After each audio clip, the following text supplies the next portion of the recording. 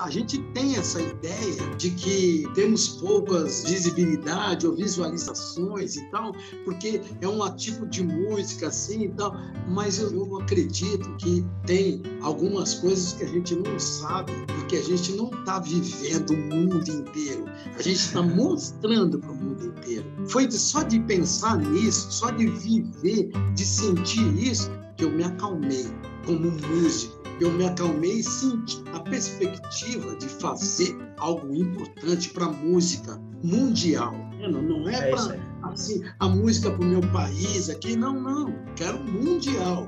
E mundial é que, na verdade, como eu te disse, eu não estou circulando aí assim o mundo inteiro para saber, mas eu sei que a música está ela está é. circulando e tem as pessoas que admiram, tem as pessoas bem intencionadas e, e aficionadas para conhecer coisas novas, para conhecer gente nova, para conhecer trabalhos novos. E é aí que a gente se encaixa.